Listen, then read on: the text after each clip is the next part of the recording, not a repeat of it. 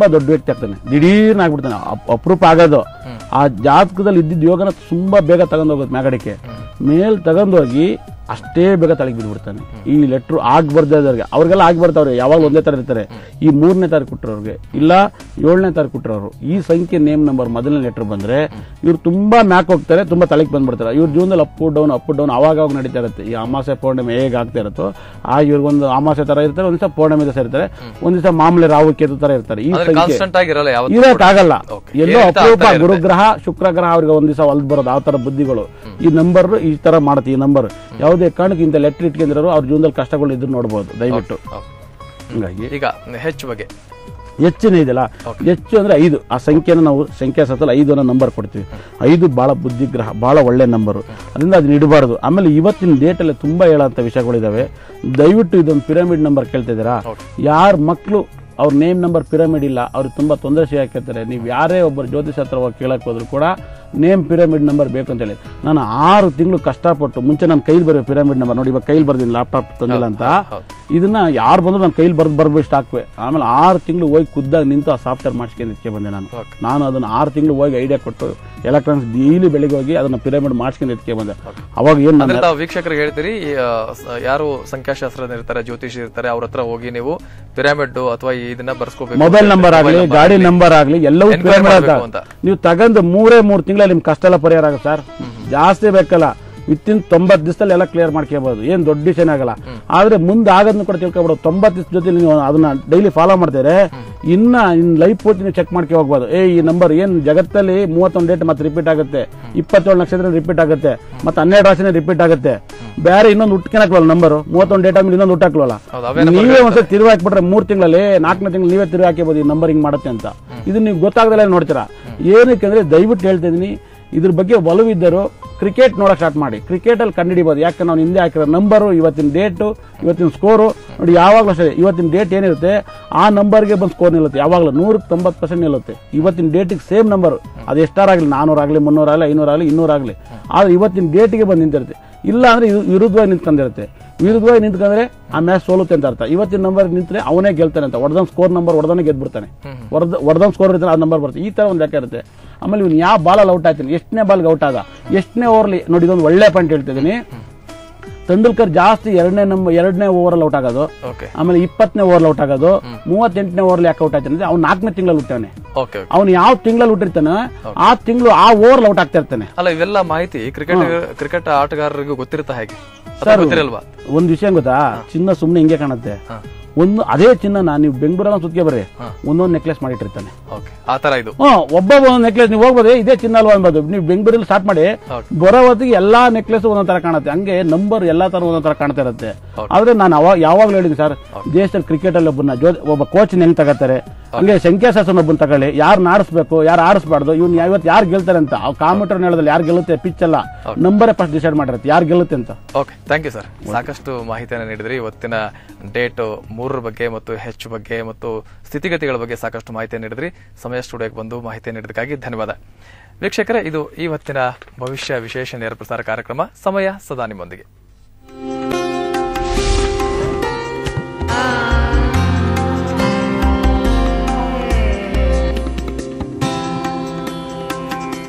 ಗುರೂಜಿ, ಆ ದಿನ ನೀವು ನನಗೆ ಮತ್ತು ನನ್ನ ತಂಗಿಗೆ ಹರಳುಗಳನ್ನ ಧರಿಸಲು ಹೇಳಿದ್ರಲ್ಲ? ಆ ಹಣ್ಣುಗಳು ನಿಮ್ಮಲ್ಲಿ ಸಿಗುತ್ತದೆಯೇ? ಯಾವ ಹಣ್ಣುಗಳನ್ನು ಹೇಗೆ ಧರಿಸಬೇಕು ಯಾವಾಗ ಧರಿಸಬೇಕು ಅಂತ ಮಾತ್ರ ಹೇಳ್ತೀನಿ. ಹಾಗಿದ್ದಲ್ಲಿ ನಾವು ಎಲ್ಲಿ ಹೋಗಿ ಖರೀದಿಸುವುದು ಸೂಕ್ತ? ನನ್ನ ಇಷ್ಟು ವರ್ಷಗಳ ಅನುಭವ ಪ್ರಕಾರ ನಿಮಗೆ ಜೈಪುರ್ ಜಂಕ್ಷನ್ ಜುವೆಲ್ ಜಯನಗರಲ್ಲಿ ಮಾತ್ರ ನಿಖರವಾದ ಬೆಲೆಗೆ ಅತ್ಯುತ್ತಮವಾದ ಹಣ್ಣುಗಳು ದೊರೆಯುತ್ತದೆ Jaipur gems and jewels Jayanagar Bengaluru ಹಾಗೂ T Nagar Chennai.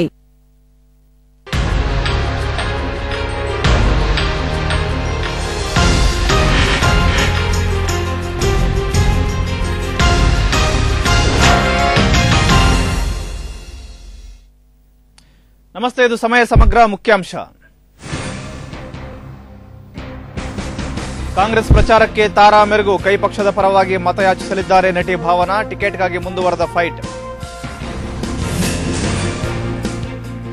Borewell registration ಗಡುವು ವಿಸ್ತರಣೆ, ಏಪ್ರಿಲ್ ಮೂವತ್ತರವರೆಗೆ ಅರ್ಜಿ ಸಲ್ಲಿಕೆಗೆ ಕಾಲಾವಕಾಶ, ಉಚಿತ ಅರ್ಜಿಗಳಿಗೂ ಜಲಮಂಡಳಿ ಶುಲ್ಕ. ರಾಯಚೂರಿನಲ್ಲಿ ನಕಲಿ ಹತ್ತಿ ಬೀಜ ಮಾರಾಟ. ವಂಚಕರ ಮನೆ ಮೇಲೆ ಪೊಲೀಸರ ದಾಳಿ, ಹನ್ನೊಂದು ಲಕ್ಷ ರೂಪಾಯಿ ಮೌಲ್ಯದ ಬೀಜ ವಶ.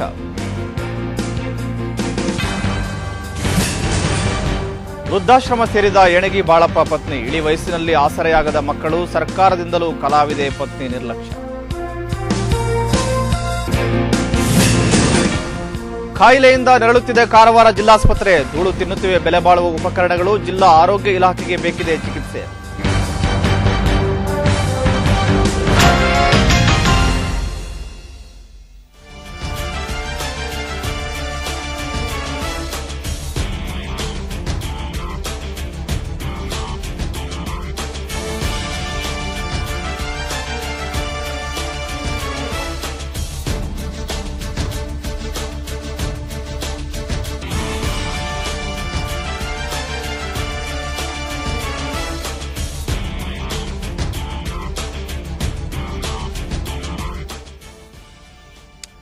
ಟ್ರ್ಯಾಕ್ಟರ್ ಹರಿದು ಮಗು ಸಾವನ್ನಪ್ಪಿರುವಂತಹ ಘಟನೆ ಬೆಳಗಾವಿ ಜಿಲ್ಲೆಯಲ್ಲಿ ನಡೆದಿದೆ. ಬೆಳಗಾವಿ ಜಿಲ್ಲೆಯ ರಾಯಭಾಗ ತಾಲೂಕಿನ ಕುಡುಚಿ ಗ್ರಾಮದಲ್ಲಿ ಒಂದು ಘಟನೆ ನಡೆದಿದೆ. ಆಕಸ್ಮಿಕವಾಗಿ ಮಗು ರಸ್ತೆಗೆ ಬಂದ ಸಂದರ್ಭದಲ್ಲಿ ಟ್ರ್ಯಾಕ್ಟರ್ಗೆ ಸಿಲುಕಿ ಮಗು ಸಾವನ್ನಪ್ಪಿದೆ.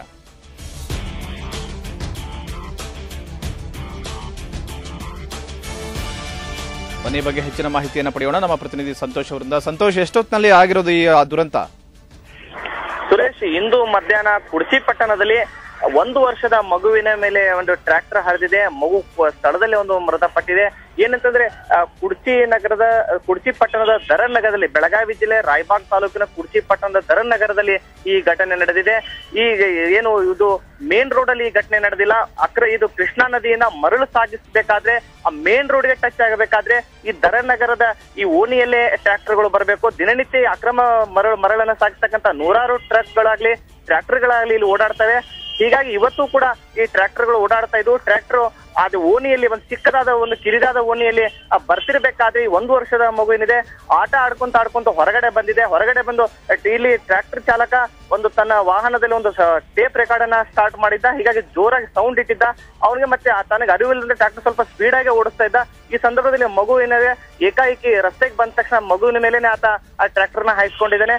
ಆಮೇಲೆ ಸ್ಥಳೀಯರು ಒಂದು ಕಿರಿಚಾಟ, ಕಿರ್ಚಿದಾರೆ ಈ ಘಟನೆ ನಡೆದ ತಕ್ಷಣ ಕೂಡಲೇ ಟ್ರ್ಯಾಕ್ಟರ್ ಬಿಟ್ಟು ಚಾಲಕ ಪರಾರಿಯಾಗಿದ್ದಾನೆ ಮತ್ತೆ ಆ ನಗರ ದರ ನಗರದ ಎಲ್ಲ ಸ್ಥಳೀಯರು ಸೇರ್ಕೊಂಡು ಈಗ ಪ್ರತಿಭಟನೆ ಮಾಡ್ತಾ ಇದ್ದಾರೆ. ನಾವು ಬಹಳ ದಿನಗಳಿಂದ ಮನವಿ ಮಾಡ್ತಾ ಇದ್ವಿ.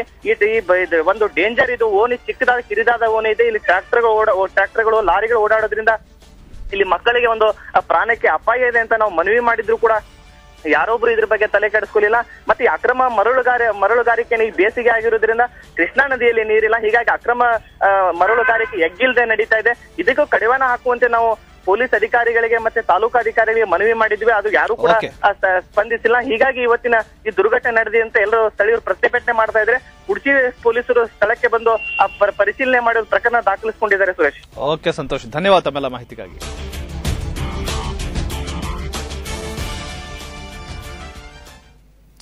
ರಾಮನಗರ ಬಳಿಯ ಮಂಚನಬೆಲೆ ಜಲಾಶಯಕ್ಕೆ ಪ್ರವಾಸಕ್ಕೆ ಬಂದ ಬೆಂಗಳೂರಿನ ಇಬ್ಬರು ಯುವಕರು ಜಲಾಶಯದಲ್ಲಿ ಮುಳುಗಿ ಸಾವನ್ನಪ್ಪಿದ್ದಾರೆ. ಕಾಮಾಕ್ಷಿಪಾಳ್ಯದ ಎಂಐಇ ಕಾಲೇಜಿನ ಪಾಲಿಟೆಕ್ನಿಕ್ ವಿದ್ಯಾರ್ಥಿಗಳಾದ ಮಹೇಶ್ ಮತ್ತು ರಘುನಂದನ್ ಮೃತಪಟ್ಟ ಯುವಕರು. ಮಂಚನಬೆಲೆ ಜಲಾಶಯದಲ್ಲಿ ಈಜುವುದನ್ನು ನಿಷೇಧಿಸಲಾಗಿದ್ದರೂ ಯುವಕರು ನೀರಿಗಿಳಿದು ಸಾವು ತಂದುಕೊಂಡಿದ್ದಾರೆ.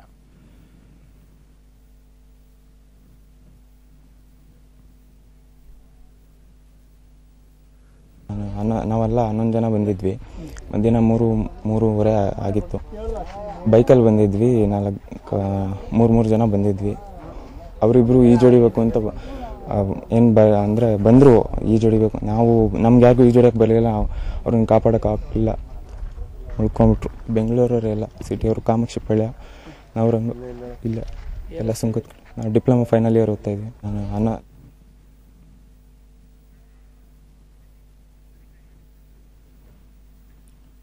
ಬನ್ನಿ ಬಗ್ಗೆ ಹೆಚ್ಚಿನ ಮಾಹಿತಿಯನ್ನ ಪಡೆಯೋಣ. ನಮ್ಮ ಪ್ರತಿನಿಧಿ ಸಂದೀಪ್ ಅವರಿಂದ. ಸಂದೀಪ್ ಯುವಕರೆಲ್ಲ ಯಾವಾಗ ಪ್ರವಾಸಕ್ಕೆ ಬಂದಿದ್ರು? ಹೇಗಾಯ್ತು ಯಾವಾಗಡ ಹಾಗೇನೆ ಅಲ್ಲಿ ಜಲಾಶಯದ ಬಳಿ ಈಜಾಡುವುದನ್ನು ನಿಷೇಧಿಸಿದ್ರು ಅಂತ ಸೂಚನಾ ಫಲಕ ಮಾತ್ರ ಹಾಕಿದ್ರೆ. ಅಲ್ಲಿ ಯಾರು ಕೂಡ ಸೆಕ್ಯೂರಿಟಿ ಅಥವಾ ಯಾರು ಕೂಡ ಅಲ್ಲಿ ಕಾವಲುಗಾರಿಲ್ವಾ ಹೇಗೆ ಅಂತ?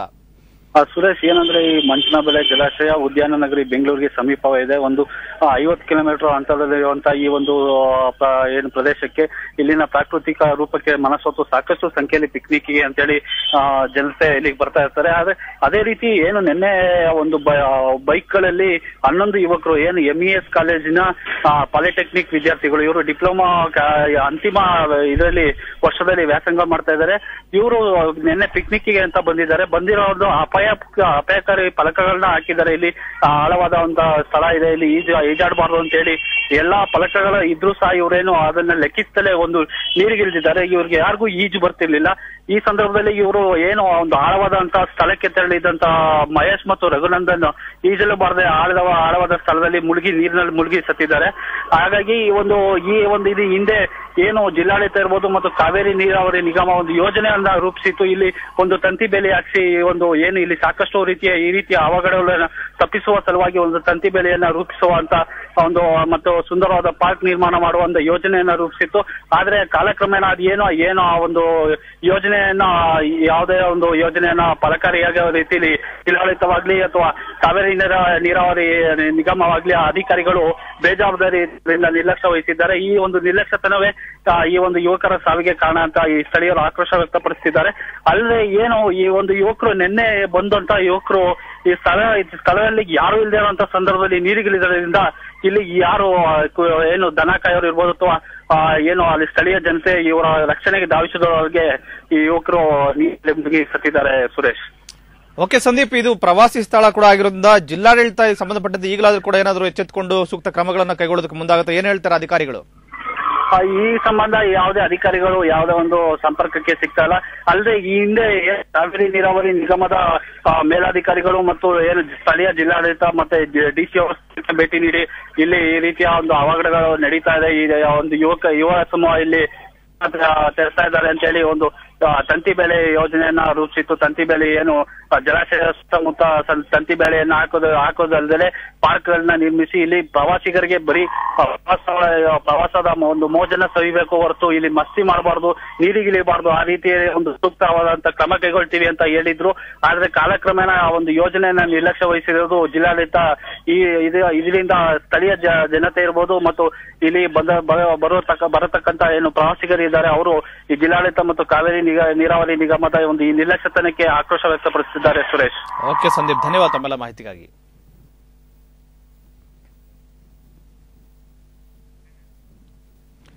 ರಾಯಚೂರಿನ ಎನ್ಜಿಒ ಕಾಲೋನಿಯಲ್ಲಿ ನಕಲಿ ಹತ್ತಿ ಬೀಜಗಳನ್ನು ತಯಾರಿಸುತ್ತಿದ್ದ ಜಾಲವನ್ನ ಪೊಲೀಸರು ಭೇದಿಸಿದ್ದಾರೆ. ನಕಲಿ ಬೀಜ ತಯಾರಿಸುತ್ತಿದ್ದ ಮನೆ ಮೇಲೆ ದಾಳಿ ಮಾಡಿದ ಪೊಲೀಸರು ಸುಮಾರು ಹನ್ನೊಂದು ಲಕ್ಷ ರೂಪಾಯಿ ಬೆಲೆ ಬಾಳುವ ಹತ್ತಿ ಬೀಜಗಳನ್ನು ವಶಪಡಿಸಿಕೊಂಡಿದ್ದಾರೆ.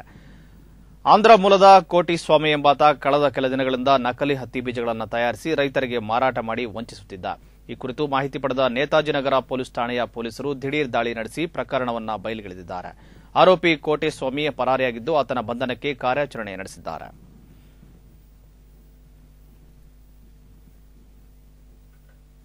ಬ್ರಾಂಡೆಡ್ ಆಗಿ ಬಿಟಿ ಕಾಟನ್ ಅಂತ ಫಾಲ್ಸ್ ಪ್ಯಾಕೆಟ್ ಅಲ್ಲಿ ಮಾಡಿ ಮಾರಾಟ ಮಾಡ್ತಾ ಇದೆ.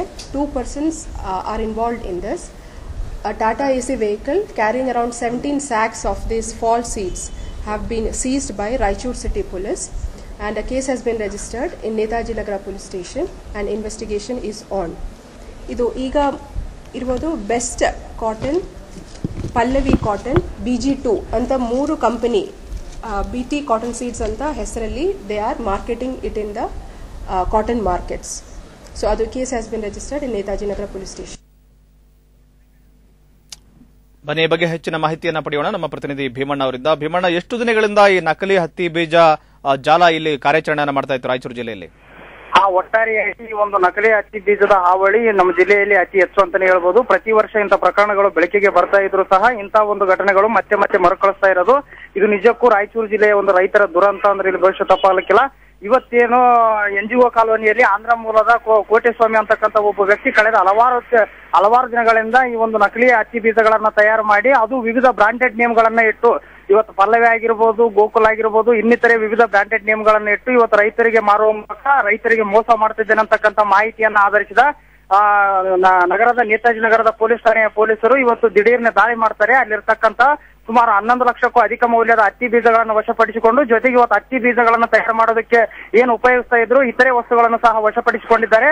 ಇವತ್ತು ಆಂಧ್ರ ಮೂಲದ ಏನು ಕೋಟೆಸ್ವಾಮಿ ಇಂತಹ ಒಂದು ಪ್ರಕರಣದಲ್ಲಿ ಭಾಗಿಯಾದಂತಹ ಈ ಒಬ್ಬ ಆರೋ, ಆರೋಪಿ ಇವತ್ತು ಪರಾರಿಯಾಗಿದ್ದಾನೆ. ಆತನ ಬಲಿಗಾಗಿ ಈಗಾಗಲೇ ರಾಯಚೂರಿನ ಜಿಲ್ಲಾ ಪೊಲೀಸರು ವ್ಯಾಪಕವಾದಂತಹ ಒಂದು ಬಲೆ ಬೀಸಿದ್ದು, ಈ ಈ ಒಂದು ಪ್ರಕರಣವನ್ನ ತನಿಖೆಯಲ್ಲಿ ಮುಂದುವರಿಸಿದ್ದಾರೆ ಅಂತಕ್ಕಂಥ ಮಾಹಿತಿ ಇವತ್ತು ರಾಯಚೂರು ಜಿಲ್ಲೆಯ ಪೊಲೀಸರಿಂದ ಗೊತ್ತಾಗಿದೆ, ಸುರೇಶ್. ಅಂದ್ರೆ ಭೀಮಣ್ಣ, ಇಲ್ಲಿ ಎರಡು ಅಂಶಗಳು. ಅಂದ್ರೆ ಈಗ ಏನು ಬ್ರಾಂಡೆಡ್ ಕಂಪನಿಗಳ ಹೆಸರುಗಳನ್ನ ಇವರು ನಕಲಿಯಾಗಿ ಇಲ್ಲಿ ಮುದ್ರಿಸಿ ಮಾರಾಟ ಮಾಡ್ತಾ ಇದ್ರು ಅಂತ ಹೇಳ್ತಿದ್ರು. ಅಂದ್ರೆ ಯಾರ ದೂರಿನ ಮೇರೆಗೆ ಪೊಲೀಸರು ಕಾರ್ಯಾಚರಣೆ ಮಾಡಿದ್ರು? ರೈತರು ತಮಗೆ ವಂಚನೆ ಆಗಿದೆ ಅಂತ ಏನಾದ್ರು ದೂರು ಕೊಟ್ಟಿದ್ರಾ? ಅಥವಾ ಈ ಕಂಪನಿಗಳು ಏನಾದ್ರು ದೂರು ಕೊಟ್ಟಿದ್ವಾ? ಆ ಏನಿವತ್ತು ಒಟ್ಟಾರೆ ಇಲ್ಲಿ ಪ್ರತಿ ವರ್ಷನೂ ಇಂಥ ಪ್ರಕರಣಗಳು ಹೆಚ್ಚಾಗ್ತಿವೆ. ಜೊತೆ ಕಳೆದ ಕಳೆದ ಕಳೆದ ವರ್ಷವಷ್ಟೇ ಬಯಲಿಗೆ ಬಂದಂತ ಇವತ್ತು ಅಸ್ಕಾರದ ಪ್ರಕರಣ ಆಗಿರ್ಬೋದು ಯರ್ಮರ್ಸನ ಪ್ರಕರಣ ಆಗಿರ್ಬೋದು, ಯಾಪಲ್ದಿನಿಯ ಪ್ರಕರಣ ಆಗಿರ್ಬೋದು, ಇಂಥ ಒಂದು ಈ ಇಂಥ ಒಂದು ನಕಲಿ ಬೀಜಗಳನ್ನ ಆಂಧ್ರ ಮೂಲದಂತ ಬಂದ ವ್ಯಕ್ತಿಗಳು ತಾವಾಗಿ ಗೌಪ್ಯವಾಗಿ ನಡೆಸ್ತಾ ಇರ್ತಾರೆ. ಜೊತೆಗೆ ಅವರಲ್ಲಿ ಭಿನ್ನಾಭಿಪ್ರಾಯ ಉಂಟಾದಾಗ ಮಾತ್ರ ಇಂಥ ಒಂದು ಪ್ರಕರಣಗಳು ಬೆಳಕಿಗೆ ಬರ್ತಿದೆ. ಇದು ಈ- ಕಾರಣಕ್ಕಾಗಿ ಇಲ್ಲಿನ ಈ ಈ- ಕಾರಣಕ್ಕಾಗಿ ಇಲ್ಲಿ ಏನಂತಂದ್ರೆ ಇಲ್ಲಿ ಈ ಬ್ರ್ಯಾಂಡ್ ನಿಯಮಗಳನ್ನ ಬಳಸಿ ಇವತ್ತು ನಾ- ಅದೇ ಅವರೇ ರೈತರಂತ ಒಂದು ನಟನೆ ಮಾಡಿ ಇವತ್ತು ರೈತರಿಗೆ ಇಂಥ ಒಂದು ಭೂಮಿಯಲ್ಲಿ ಈ ಒಂದು ಹತ್ತಿ ಬೀಜಗಳಿಂದ ನಾವು ಅತಿ ಹೆಚ್ಚಿನ ಬೆಳೆ ತೆಗೆದು ಅಂತ ನಂಬಿಸುವ ಮೂಲಕ ಇವತ್ತು ರೈತರಿಗೆ ಮೋಸ ಮಾಡ್ತಾ ಇದ್ದಾರೆ ಸುರೇಶ್. ಓಕೆ, ಸುಮಾರು ಎಷ್ಟು ರೈತರು ಇವರಿಂದ ವಂಚನೆಗೊಳಗಾಗಿರ್ಬೋದು? ಅದು ಈ ಸದ್ಯಕ್ಕೆ ಇನ್ನೂ ಮಾಹಿತಿ ಲಭ್ಯವಾಗಿಲ್ಲ. ಜೊತೆಗೆ ಇಲ್ಲಿ ಈ ಪ್ರಮುಖವಾಗಿ ಈ ಒಂದು ಹತ್ತಿ ಬೀಜಗಳ ಹಾವಳಿಯಿಂದ ಆಗಿರ್ಬೋದು, ಇನ್ನಿತರ ಬೀಜಗಳ ಹಾವಳಿಯಿಂದ ಆಗಿರ್ಬೋದು, ನಮ್ಮ ಗಡಿ ಜಿಲ್ಲೆಯ ಗ್ರಾಮಗಳ ರೈತರು ಮಾತ್ರ ಇದರಲ್ಲಿ ಸಂಪೂರ್ಣವಾಗಿ ಮೋಸ ಹೋಗ್ತಿದ್ದಾರೆ. ಏನಂತಂದ್ರೆ ಇಲ್ಲಿ ನಮ್ಮ ಕರ್ನಾಟಕಕ್ಕೆ ಬಂದು ಹೋಗೋ ವೆಚ್ಚ ದುಬಾರಿ ಆಗೋದ್ರಿಂದ ಪಕ್ಕದಲ್ಲಿರ್ತಕ್ಕಂಥ ಆಂಧ್ರ ಆಂಧ್ರದಲ್ಲಿ ಇಂಥ ಒಂದು ನಕಲಿ ಬೀಜಗಳನ್ನು ಅತಿ ಹೆಚ್ಚು ಮಾರಾಟ ಮಾಡೋದ್ರಿಂದ ಒಟ್ಟಾರೆಯಾಗಿ ನಮ್ಮ ಜಿಲ್ಲೆಯ ಗಡಿ ಗ್ರಾಮಗಳ ರೈತರು ಇಂಥ ಒಂದು ನಕಲಿ ಬೀಜಗಳ ಹಾವಳಿಯಿಂದಾಗಿ ಸಂಪೂರ್ಣ ಬಸವಳಿದ್ದಾರೆ ಅಂತ ಹೇಳ್ಬೋದು ಸುರೇಶ್. ಓಕೆ ಭೀಮಣ್ಣ, ಪ್ರತಿ ವರ್ಷ ಕೂಡ ಈ ರೀತಿ ಆಂಧ್ರದಿಂದ ಬಂದು ಇಲ್ಲಿ ನಕಲಿ ಹತ್ತಿ ಬೀಜಗಳಿರ್ಬೋದು, ಬೇರೆ ಬೇರೆ ನಕಲಿ ಬೀಜಗಳನ್ನು ಮಾರಾಟ ಮಾಡ್ತಿದ್ರು ಕೂಡ ನಮ್ಮ ರಾಜ್ಯದ ಕೃಷಿ ಇಲಾಖೆ ಏನ್ ಮಾಡ್ತಿದೆ? ಜಿಲ್ಲೆಯಲ್ಲಿ ಕೃಷಿ ಇಲಾಖೆ ಅಧಿಕಾರಿಗಳಿಗೆ ಇದು ಗಮನಕ್ಕೆ ಬರ್ತಾ ಇಲ್ವಾ? ಇಂತ ಒಂದು ಪ್ರಕರಣಗಳನ್ನ ನಮ್ಮ ಜಿಲ್ಲೆಯ ರೈತ ಸಂಘಟನೆಗಳು, ಸಂಬಂಧಪಟ್ಟಂತ ಕೃಷಿ ಇಲಾಖೆಗಾಗಿರ್ಬೋದು, ಪೊಲೀಸರಿಗಾಗಿರ್ಬೋದು, ತೊಂದರೆ ಇದ್ರೂ ಸಹ ಈ ಒಂದು, ಇಂಥ ಒಂದು ನಕಲಿ ಬೀಜದ ಹಾವಳಿಯನ್ನು ತಡೆಗಟ್ಟಲು ಸಂಪೂರ್ಣವಾಗಿ ಕೃಷಿ ಇಲಾಖೆಯಲ್ಲಿ ವಿಫಲವಾಗ್ತಿದೆ. ಜೊತೆಗೆ ಏನಿವತ್ತು, ಈ ರೈತರಿಗೆ ಮಾಹಿತಿ ಕೊಡ ಕೊಡುವಲ್ಲಿ ಸಹ ನಮ್ಮ ನಮ್ಮ ರಾಯಚೂರು ಜಿಲ್ಲೆಯ ಕೃಷಿ ಇಲಾಖೆ ಸಂಪೂರ್ಣ ಇಲ್ಲಿ ವಿಫಲವಾಗಿದೆ ಅಂದ್ರೆ ಭವಿಷ್ಯ ತಪ್ಪಾಗಲಿಕ್ಕಿಲ್ಲ ಜೊತೆಗೇನು ಈ ಬಗ್ಗೆ ರೈತರಿಗೆ ಅರಿವು ಮೂಡಿಸ್ತಕ್ಕಂತ ಕೆಲಸ ಒಂದು ಬರದಿಂದ ಆಗಬೇಕು. ಇಂತ ಒಂದು ಮೋಸ ಹೋಗ್ತ ಮೋಸ ಹೋಗ್ತಿರುವಂತ ರೈತರ ರಕ್ಷಣೆಗೆ ಇವತ್ತು ರಾಯಚೂರು ಜಿಲ್ಲೆಯ ಸಂಬಂಧಪಟ್ಟ ಅಧಿಕಾರಿಗಳು ಅವ್ರ ನೆರವಿಗೆ ಬರಬೇಕು. ಜೊತೆಗೆ ಇಲ್ಲಿ ಇನ್ನೊಂದು ಪ್ರಮುಖವಾಗಿ ಪ್ರಮುಖವಾಗಿ ಗಮನಿಸಬೇಕಾದಂತ ಅಂಶ ಇನ್ನೊಂದೇನಂತಂದ್ರೆ ಇಂತಹ ಒಂದು ನಕಲಿ ಬೀಜಗಳ ತಯಾರಿಕೆಯಲ್ಲಿ ಪಾಲ್ಗೊಂಡಂತ ವ್ಯಕ್ತಿಗಳ ವಿರುದ್ಧ ಕಠಿಣ ಕಾನೂನು ಕ್ರಮ ಆಗದೇ ಇರೋದು ಇದು ಮತ್ತೆ ಮತ್ತೆ ಮರುಕ ಜಿಲ್ಲೆಯಲ್ಲಿ ಮತ್ತೆ ಮತ್ತೆ ಮರುಕಳಿಸ್ತಿರೋ ಮರುಕಳಿಸ್ತಿರೋದಕ್ಕೆ ಪ್ರಮುಖ ಕಾರಣ ಅಂತಾನೆ ಹೇಳ್ಬೋದು ಫ್ರೆಶ್ ಓಕೆ ಭೀಮಣ್ಣ, ಧನ್ಯವಾದ ತಮ್ಮೆಲ್ಲ ಮಾಹಿತಿಗಾಗಿ.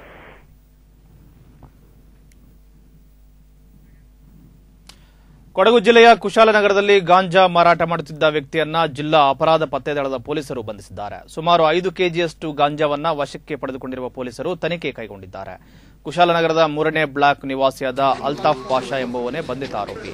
ಈತ ಮೈಸೂರಿನಿಂದ ಗಾಂಜಾವನ್ನ ಖರೀದಿ ಮಾಡಿ ತಂದು ಕುಶಾಲನಗರದಲ್ಲಿ ಜನತೆಗೆ ಹಂಚುತ್ತಿದ್ದ. ಈ ಬಗ್ಗೆ ಖಚಿತ ಮಾಹಿತಿ ಪಡೆದ ಪೊಲೀಸರು ಆರೋಪಿಯನ್ನು ಬಂಧಿಸುವಲ್ಲಿ ಯಶಸ್ವಿಯಾಗಿದ್ದಾರೆ. ಇದರ ಮೌಲ್ಯ ಸುಮಾರು ಒಂದು ಲಕ್ಷ ಅಂತ ಅಂದಾಜಿಸಲಾಗಿದೆ. ಈ ಪ್ರಕರಣದಲ್ಲಿ ಇನ್ನೂ ಹಲವರು ಭಾಗಿಯಾಗಿರುವ ಶಂಕೆ ಇದ್ದು, ತನಿಖೆ ಚುರುಕುಗೊಂಡಿದೆ.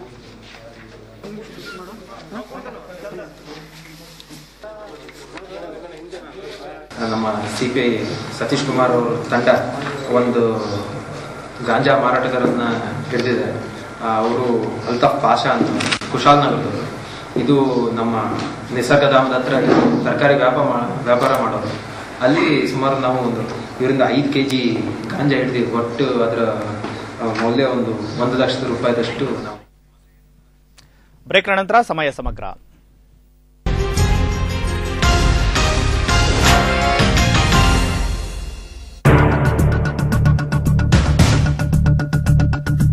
ಬರದಿಂದ ಬರಿದಾಗಿದೆ ಒಡಲು.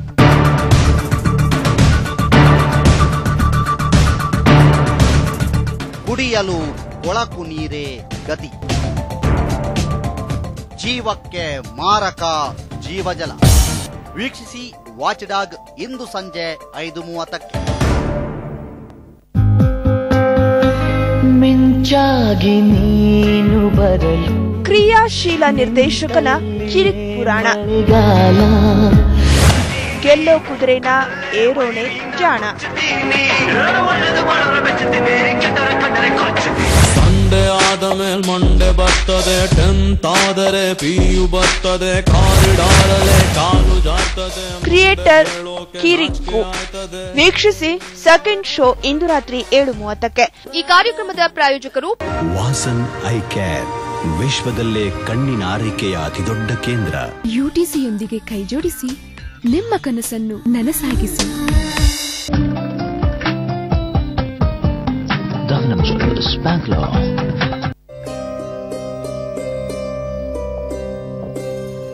ಅಂದದ ರೇಷ್ಮೆಯ ಸೊಬಗು ಕಾವ್ಯವಾಗಿ ಬರುತ್ತಿದೆ ರೇಷ್ಮೆಯ ಪರಂಪರೆ ಆರ್ಎಂಕೆವಿ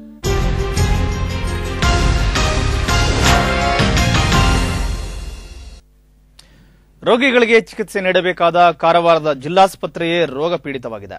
ರೋಗಿಗಳ ಅನುಕೂಲಕ್ಕಾಗಿ ಖರೀದಿಸಿರುವ ಉಪಕರಣಗಳ ಖರೀದಿಯಲ್ಲಿ ಸಾಕಷ್ಟು ಅವ್ಯವಹಾರವಾಗಿದೆ. ಅಲ್ಲದೆ ವೈದ್ಯರು ಹಾಗೂ ಸಿಬ್ಬಂದಿಗಳ ಸಮಸ್ಯೆ ಸಾಕಷ್ಟಿದೆ. ಇದರ ಜೊತೆಯಲ್ಲಿ ಆಸ್ಪತ್ರೆಯ ಹಿಂಬದಿಯಲ್ಲಿ ಸುಮಾರು ಎರಡು ಕೋಟಿಗೂ ಹೆಚ್ಚು ವೆಚ್ಚದಲ್ಲಿ ನಿರ್ಮಾಣವಾಗಿರುವ ಔಷಧ ಉಗ್ರಾಣ ಕೇಂದ್ರವು ಉಪಯೋಗಕ್ಕೆ ಬಾರದೆ ಬಾಗಿಲು ಮುಚ್ಚಿದೆ. ಈ ಅವ್ಯವಹಾರದ ಕುರಿತು ಈಗಾಗಲೇ ಸ್ಥಳೀಯರು ದೂರು ನೀಡಿದ್ದು ಲೋಕಾಯುಕ್ತ ಪೊಲೀಸರು ತನಿಖೆ ನಡೆಸುತ್ತಿದ್ದಾರೆ.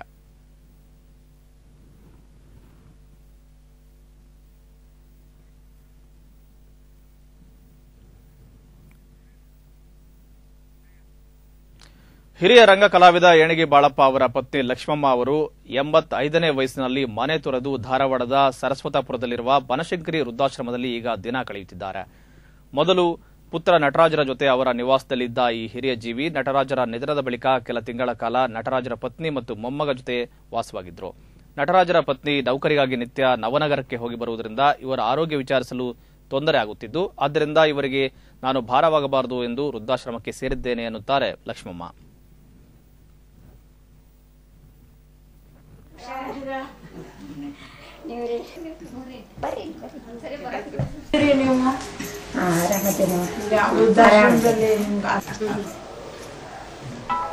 ಎಲ್ಲಾರು ಪ್ರೀತಿಯಿಂದ ಅದೀವಿ ಇಷ್ಟ. ಹಂಗ ಎಲ್ಲದಕ್ಕೂ ಹೊಂದ್ಕೊಂಡು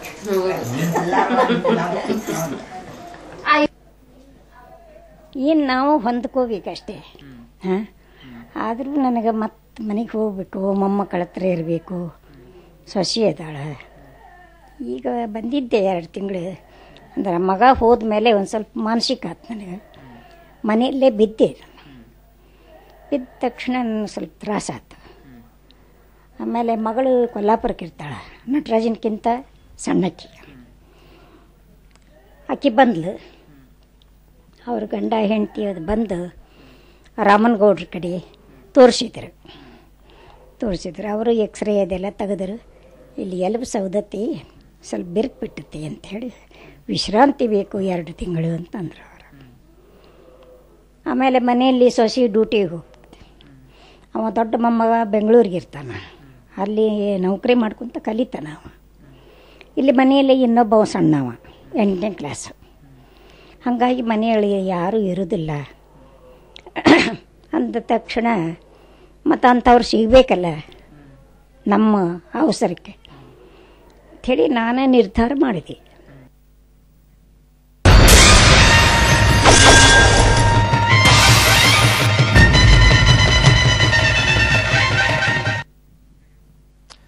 ನರ್ಸ್ ಜಯಲಕ್ಷ್ಮಿ ಚುನಾವಣಾ ಕಣಕ್ಕಿಳಿಯಲು ರೆಡಿಯಾಗಿದ್ದಾರೆ. ಹೊನ್ನಾಳಿಯಿಂದಲೇ ಮಾಜಿ ಸಚಿವ ರೇಣುಕಾಚಾರ್ಯ ವಿರುದ್ಧ ಕಣಕ್ಕಿಳಿಯಲು ಚಿಂತನೆ ನಡೆಸಿದ್ದಾರೆ. ಈ ಮಧ್ಯೆ ರೇಣುಕಾಚಾರ್ಯ ಅವರಿಗೆ ಹೆಲ್ತ್ ಸರ್ಟಿಫಿಕೇಟ್ ನೀಡಿರುವ ಜಯಲಕ್ಷ್ಮಿ ಮಾಜಿ ಸಚಿವರೀಗ ಫಿಟ್ ಅಂಡ್ ಫೈನ್ ಆಗಿದ್ದಾರೆ ಎಂದಿದ್ದಾರೆ.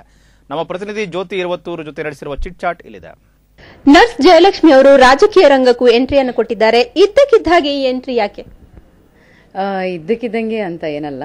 ಇದು ಒಂದು ಚುನಾವಣಾ ಕಣ ಆಗಿದೆ ಈಗ. ಚುನಾವಣೆ ಹತ್ತಿರ ಬರೋ ಬರ್ತಾ ಇರೋದ್ರಿಂದ ನನಗೂ ಒಂದು ಆಸೆ ಇತ್ತು ಸಮಾಜ ಸೇವೆ ಮಾಡಬೇಕು ಅಂತ. ಅದರಲ್ಲಿ ಈಗ ಬಿ ಎಸ್ ಆರ್ ಕಾಂಗ್ರೆಸ್ ಪಕ್ಷದವರು ನನಗೊಂದು ಆಪರ್ಚುನಿಟಿ ಕೊಟ್ಟಿದ್ದಾರೆ. ಸೊ ಎಂಟರ್ ಆಗ್ತಾ ಇದ್ದೀನಿ. ನೀವು ಹೊನ್ನಾಳಿಯಿಂದ ಸ್ಪರ್ಧಿಸ್ತಾ ಇರೋದು ನಿಜಾನ? ಎಷ್ಟರ ಮಟ್ಟಿಗೆ ಅದು ಸರಿ? ಹೊನ್ನಾಳಿಯಿಂದ ನಾನು ಸ್ಪರ್ಧೆ ಮಾಡಬೇಕು ಅಂತ ನನ್ನ ಇಂಟೆನ್ಷನ್ ಏನಿಲ್ಲ. ನಮ್ಮ ಪಕ್ಷದ ವರಿಷ್ಠರು, ನಾಯಕರು ಸೊ ಅಲ್ಲೇ ನಿಲ್ಲಬೇಕು ಅಂತ ಹೇಳಿದಾಗ ಖಂಡಿತ ನಿಲ್ತೀನಿ. ಸೊ ಅಲ್ಲಿಂದ ಸ್ಪರ್ಧಿಸೋದು ಬಹುತೇಕ ಖಚಿತ ಅಂತ ಹೇಳ್ಬೋದಾ? ಅಥವಾ ಬೇರೆ ಕ್ಷೇತ್ರಗಳ ಆಯ್ಕೆ ಇದೆಯಾ? ನಾನಿವಾಗ ನಿಮಗೆ ಹೇಳಬೇಕಂದ್ರೆ ಈ ಪಕ್ಷಕ್ಕೆ ನಾನು ಇನ್ನು ಅಂಬೆಗಾಲ್ ಇಡ್ತಾ ಇದ್ದೀನಿ. ನನ್ನ ಪಕ್ಷದ ಒಂದು ಕಾರ್ಯಕರ್ತೆಯಾಗಿ ಫಸ್ಟ್ ಕೆಲಸ ಮಾಡ್ತಾ ಮಾಡಬೇಕು ಅನ್ನೋದು ನನ್ನ ಇಂಟೆನ್ಷನ್ನು ರಾಜಕೀಯದಲ್ಲಿ ನಾನು ತುಂಬ ವರ್ಷದಿಂದ ಬಂದಿಲ್ಲ. ಇವಾಗಲೇ ಅಂಬೆಗಾಲ್ ಇಡ್ತಾ ಇದ್ದೀನಿ. ಸೊ ಇದನ್ನ ಒಂದು ಯುಟಿಲೈಸ್ ಮಾಡ್ಕೊಬೇಕು ಅಂತಿದ್ದೀನಿ ಅಷ್ಟೇ. ಈಗ ಒಂದ್ ವೇಳೆ ಅಲ್ಲಿ ನೀವು ಸ್ಪರ್ಧಿಸಿದ್ರೆ ಅಲ್ಲಿರುವಂತ ಈ ಹಿಂದೆ ಪ್ರಭಾವಿ ಸಚಿವರಾಗಿದ್ದಂತ ರೇಣುಕಾಚಾರ್ಯ ಅವರನ್ನ ಆ, ಪ್ರತಿಸ್ಪರ್ಧಿಯಾಗಿ ಅವ್ರ ಜೊತೆ ಕಾಂಪೀಟ್ ಮಾಡಕ್ಕೆ ಸಾಧ್ಯ ಇದೆಯಾ? ಏನನ್ಸುತ್ತೆ ರಾಜಕೀಯದಲ್ಲಿ ಪ್ರತಿಸ್ಪರ್ಧಿಗಳು ಇದ್ದೇ ಇರ್ತಾರೆ. ಆದರೆ ಅವ್ರು ಸ್ಟ್ರಾಂಗು ಇವ್ರು ಸ್ಟ್ರಾಂಗು ಅಂತ ಹೇಳೋದು ಆಗಲ್ಲ. ಯಾಕೆಂದರೆ ಇದಕ್ಕೆ ಈ ಹಿಂದೆ ನಡೆದಂಥ ಕೆಲವು ತುಂಬ ಚುನಾವಣೆಗಳಲ್ಲಿ ತುಂಬ ವೀಕ್ ಇರೋ ಅಭ್ಯರ್ಥಿಗಳೇ ಗೆದ್ದಿರೋ ಉದಾಹರಣೆಗಳು ತುಂಬ ನಮ್ಮ ಹಿಸ್ಟ್ರಿನಲ್ಲಿ ಇರೋದ್ರಿಂದ ಅವರೇ ಗೆಲ್ತಾರೆ, ಇವರೇ ಗೆಲ್ತಾರೆ ಅಂತ ಹೇಳೋಕ್ಕಂತೂ ತುಂಬ ಕಷ್ಟ. ಒಂದು ಒಂದ್ ವೇಳೆ ಹೊನ್ನಾಳಿಯಲ್ಲಿ ತಾವು ಸ್ಪರ್ಧೆ ಮಾಡಿದ್ರೆ ತಮ್ಮ ಪ್ರತಿಸ್ಪರ್ಧಿಯ ಬಗ್ಗೆ ಹೇಳೋದಾದ್ರೆ ಏನು ಬದಲಾವಣೆ ಆಗಿದೆ ಕಳೆದ ನಾಲ್ಕೈದು ವರ್ಷಗಳಲ್ಲಿ ತಾವು ಅವ್ರ ಬಗ್ಗೆ ತಾವು ಫಿಟ್ ಅಂಡ್ ಫೈನ್ ಆಗಿದ್ದಾರೆ ಅಂತ ಹೇಳಿದ್ರು ಯಾಕೆಂತ ಹೇಳಿ ಫ್ರಾಂಕ್ಲಿ ಸ್ಪೀಕಿಂಗ್ ಆಕ್ಚುಲಿ ಅವರು ಅವರು, ಅವ್ರ ಹತ್ರ ನಮ್ಗೇನು ಇವಾಗ ಪರ್ಸನಲ್ ಆಗಿ ಕಾಂಟ್ಯಾಕ್ಟ್ಸ್ ಏನಿಲ್ಲ ಇನ್ ಜನರಲ್ ಆಗಿ, ನಾನಂದ್ರೆ ವೈರಿ ಆಗಿರ್ಲಿ ಅಥವಾ ಸ್ನೇಹಿತರಾಗಿರ್ಲಿ, ಎಲ್ಲರಿಗೂ ನಾನು ಒಂದೇ, ಅಂದ್ರೆ ಕರೆಕ್ಟ್ ಸಮಾನತೆಯಿಂದ ನಾನು ನೋಡ್ತೀನಿ. ಸೊ ಅವ್ರಿವಾಗ ನಮ್ಮ ಹತ್ರ ಕಾಂಟ್ಯಾಕ್ಟ್ ಇಲ್ಲ, ಮಾತಾಡ್ತಿಲ್ಲ ಅಂತ ಹೇಳೋದ್ರಿಂದ ಅವ್ರ ಅವ್ರ ಬಗ್ಗೆ ಬ್ಯಾಡ್ ಕಾಮೆಂಟ್ ಅಂತೂ ನಾನು ಕೊಡಲ್ಲ. ಸೊ ಇವಾಗ ಏನು ಯೋಗ, ಅದು ಏನೇನೋ ಮಾಡ್ಕೊಂಡು ಫಿಟ್ ಅಂಡ್ ಫೈನ್ ಆಗಿದ್ದಾರೆ ಅಂತ ಹೇಳಕ್ ಇಷ್ಟಪಡ್ತೀನಿ.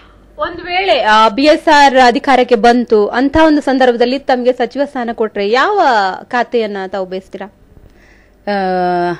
ಆರೋಗ್ಯ, ಕುಟುಂಬ ಮತ್ತು ಆರೋಗ್ಯ, ಆಮೇಲೆ ಮೆಡಿಕಲ್ ಎಜುಕೇಷನು ಈ ಥರ ಯಾಕೆಂದರೆ ನನಗೆ ನಾಲೆಡ್ಜ್ ಇರೋದು ಹಾಸ್ಪಿಟ್ಲ್ಗಳು ಇದ್ರ ಬಗ್ಗೆ ನಾಲೆಡ್ಜ್ ಇರೋದ್ರಿಂದ ಈ ಗೌರ್ಮೆಂಟ್ ಹಾಸ್ಪಿಟಲ್ಗಳಲ್ಲಿ ತುಂಬ ಬದಲಾವಣೆಗಳಾಗಬೇಕಾಗಿದೆ. ಸೊ ಇನ್ ಕೇಸ್ ನಾನು ಮಿನಿಸ್ಟರ್ ಆದರೆ ಆ ರಂಗದಲ್ಲಿ ನಾನು ಕೆಲಸ ಮಾಡಿ ಅದು ಪ್ಯೂರ್ಲಿ ಗೌರ್ಮೆಂಟ್ ಹಾಸ್ಪಿಟಲ್ಗಳನ್ನ ಬದಲಾವಣೆ ಮಾಡಬೇಕು. Again it will be helpful for poor people ಅದ್ರ ಬಗ್ಗೆ ನನ್ನ ಯೋಚನೆ ಇದೆ. ಇದು ತಮ್ಮ ರಾಜಕೀಯದ ಎಂಟ್ರಿಯ ಬಗ್ಗೆ ನರ್ಸ್ ಜಯಲಕ್ಷ್ಮಿ ಅವರ ಅನಿಸಿಕೆ. ಕ್ಯಾಮರಾಮನ್ ರಾಜು ಅವರೊಂದಿಗೆ ಜ್ಯೋತಿರ್ವತೂರ್ ಸಮಯ ನ್ಯೂಸ್ ಒಂದು ಕಡೆ ಟಿಕೆಟ್ ಹಂಚಿಕೆಗೆ ಸಂಬಂಧಿಸಿದಂತೆ ಕಾಂಗ್ರೆಸ್ನಲ್ಲಿ ಮಾರಾಮಾರಿ ನಡೀತಿದ್ರೆ ಈ ಕಡೆ ಈ ಚಿಕ್ಕಪೇಟೆ ವಿಧಾನಸಭಾ ಕ್ಷೇತ್ರದಿಂದ ಮಾಜಿ ಶಾಸಕ ಅಧಿಕೃತವಾಗಿ ಪ್ರಚಾರಕ್ಕೆ ಚಾಲನೆ ನೀಡಿದ್ದಾರೆ. ಇವತ್ತು ಬೆಳಗಿನಿಂದಲೇ ಕೆಂಪೇಗೌಡ ನಗರದ ಮನೆ ಮನೆಗೆ ತೆರಳಿ ಮತಯಾಚಿಸಿದ ಆರ್ವಿ ದೇವರಾಜ್ ಕಾಂಗ್ರೆಸ್ ಅಭ್ಯರ್ಥಿಗಳ ಪೈಕಿ ಇಡೀ ರಾಜ್ಯದಲ್ಲೇ ಪ್ರಚಾರ ಆರಂಭಿಸಿದ ಮೊದಲಿಗರಾಗಿದ್ದಾರೆ. ನಾನೊಬ್ಬ ಅಭ್ಯರ್ಥಿಯಾಗಿ ಮತಯಾಚಿಸುತ್ತಿಲ್ಲ, ಕಾಂಗ್ರೆಸ್ ಗೆಲುವಿಗಾಗಿ ಪ್ರಚಾರ ನಡೆಸುತ್ತಿದ್ದೇನೆ ಅಂತ ಅವರು ಸಮಯ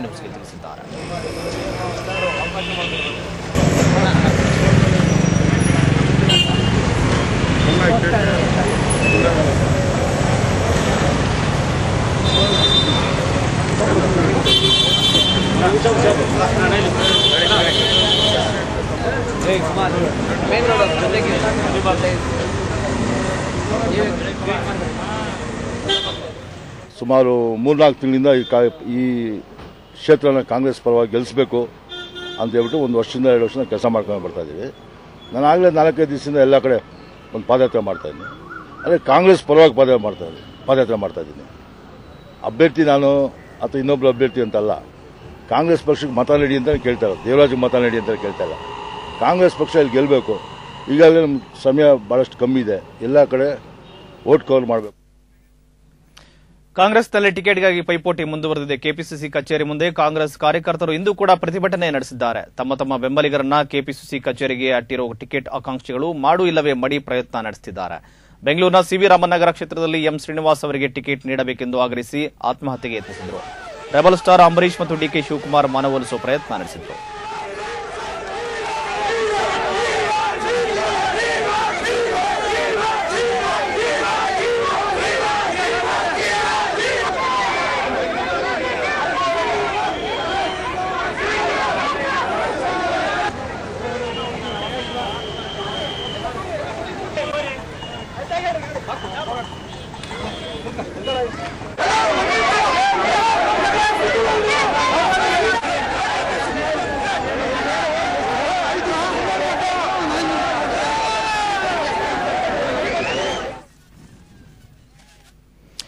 ಕಾಂಗ್ರೆಸ್ನಿಂದ ಇನ್ನೂ ಅಭ್ಯರ್ಥಿಗಳ ಪಟ್ಟಿ ಬಿಡುಗಡೆಯಾಗಿಲ್ಲ ಆಗಲೇ ಕಾರ್ಯಕರ್ತರ ಸಂಭ್ರಮಾಚರಣೆ ಆರಂಭವಾಗಿದೆ. ತೇಜಸ್ವಿನಿ, ರಮೇಶ್ಗೆ ಟಿಕೆಟ್ ನೀಡಲಾಗಿದೆ ಎನ್ನುತ್ತಿರುವ ಬೆಂಬಲಿಗರು ಕೆಪಿಸಿಸಿ ಕಚೇರಿಯಲ್ಲಿ ಸಂಭ್ರಮಾಚರಣೆ ಮಾಡಿದ್ದಾರೆ.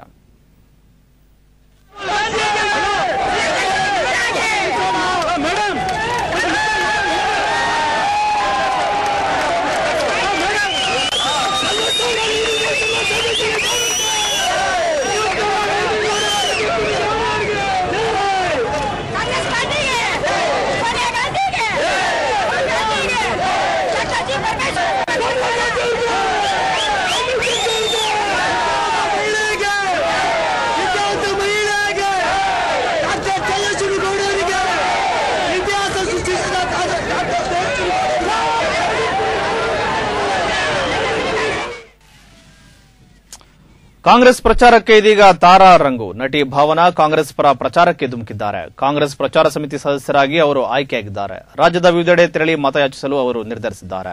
ಭಾವನಾ ಅವರ ಜೊತೆ ನಮ್ಮ ಪ್ರತಿನಿಧಿ ಪ್ರಸನ್ನ ನಡೆಸಿದ ಮಾತುಕತೆ ಇಲ್ಲಿದೆ ಆ, ಭಾವನಾ ಅವರು ನಮ್ಮ ಜೊತೆ ಇದ್ದಾರೆ. ಅವರು ಚುನಾವಣಾ ಪ್ರಚಾರದಲ್ಲಿ ಈಗ ಅವರು ಕಾರ್ಯವನ್ನು ಅವರು ಸದಸ್ಯರಾಗಿ ಈಗ ಆಯ್ಕೆ ಮಾಡಿದ್ದಾರೆ. ಅವರು ಏನ್ ಹೇಳ್ತಾರೆ? ಯಾವ ರೀತಿ ಪ್ರಚಾರ ಕಾರ್ಯದಲ್ಲಿ ಕಾಂಗ್ರೆಸ್ ಅನ್ನು ತೊಡಗಿಸ್ಕೊತಾರೆ ಕಾರಣ ಮೇಡಮ್ ಈಗ ಕಾಂಗ್ರೆಸ್ ಮೇಲೆ ಚುನಾವಣಾ ಪ್ರಚಾರಕ್ಕೆ ನೀವು ಹೇಗೆ ಅನಿಸ್ತಾ ಇದೆ ತುಂಬಾ ಖುಷಿಯಾಗಿದೆ. ಯಾಕಂದ್ರೆ ಇದು ಒಂದು ರೀತಿ ಏನಂತ ಹೇಳಿದ್ರೆ ಪಕ್ಷದಲ್ಲಿ ಯಾವುದೇ ರೀತಿ ನಾವು ಸಣ್ಣದಲ್ಲಾಗ್ಲಿ, ದೊಡ್ಡ ವಿಷಯದಲ್ಲಿ, ದೊಡ್ಡ ಮಟ್ಟದಲ್ಲಾಗ್ಲಿ, ಅದಾಗದೆ ಒಂದು ಗುರುತು ಸಿಗೋದು ಇಂಥ ಲಕ್ಷಾಂತರ ಜನ ಇರುವಂತ ಪಕ್ಷ, ಆ ತರದಲ್ಲಿ ನನ್ಗೊಂದು ಈ ತರ ಒಂದು ಗುರುತು ಸಿಕ್ಕಿರೋದು ನನ್ಗೆ ತುಂಬಾ ಖುಷಿ ಇದೆ but I also been taken as one member publicity ಕಮಿಟಿನಲ್ಲಿ ನನ್ನ ಸದಸ್ಯ ಸ್ವೀಕಾರ ಮಾಡಿದ್ದಾರೆ. ನನಗೆ ಅದ್ರ, ಅದು ತುಂಬಾ ಖುಷಿ ಇದೆ. ಚುನಾವಣೆ